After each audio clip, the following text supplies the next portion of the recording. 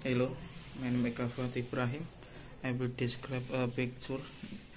This picture is holiday at the beach or a fun.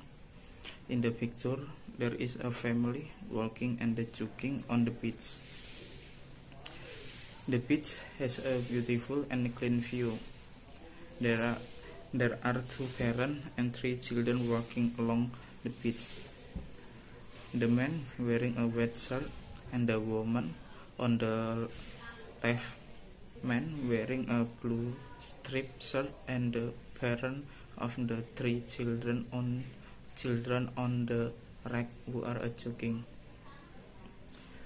There was a boy not wearing a shirt and one a girl wearing a wet dress and one girl wearing a swimwear. On the right side there is a wet cruise ship and behind them there are um, many green trees. They are enjoying a vacation at the beach can be seen from their happy expression, expression moment of family togetherness like this must be preserved in a family.